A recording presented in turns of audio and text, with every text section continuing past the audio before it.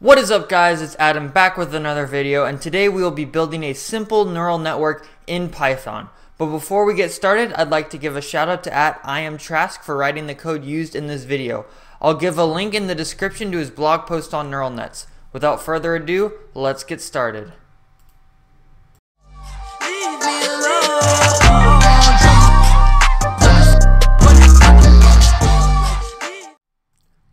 Guys, so I am currently in Atom text editor and we are going to start our Python file by importing numpy as np.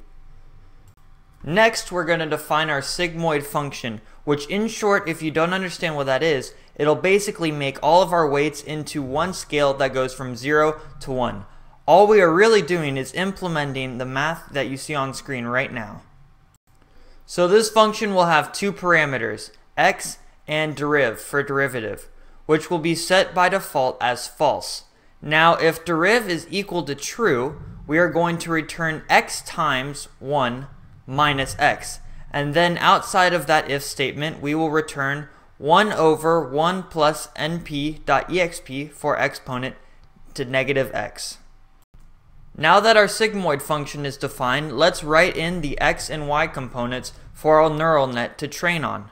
So first we will set x as equal to np.array, open brackets, 0, 0, 1, 0, 1, 1, 1, 0, 1, and finally 1, 1, 1.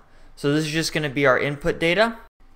And now for the corresponding y values.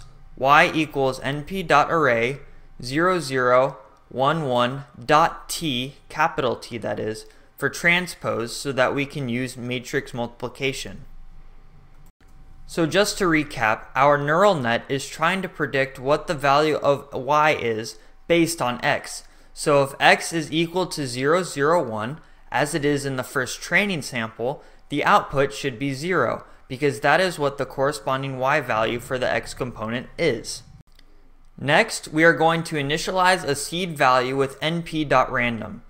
This will mean that the neural net will initialize the same random value every time. This is a good practice to always use and it will help a lot with debugging.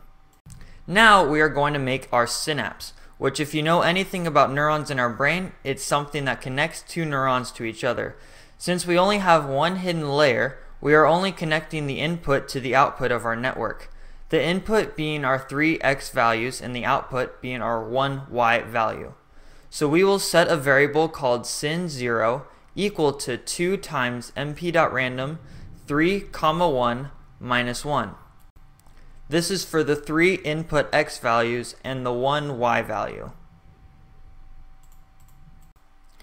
Alright, so finally we are going to start training our network. To do this, start a for loop and iterate through it as many times as you like. A good number to start with for now will be 10,000. If this number is too low, the network won't be able to update the weights enough for them to make the neural network work well. If it is too high, we will overfit our data, making the neural net not work well with new data. Okay, so in our for loop, layer 0, or the input layer, is set to x, and layer 1, or the output layer, is set to the sigmoid of np dot dot, which is for matrix multiplication, L0 syn 0. So basically we are multiplying the input layer by our synapse and setting it in a value from 0 to 1. Now let's set a variable called L1 underscore error which will compare our L1 value to the actual Y value.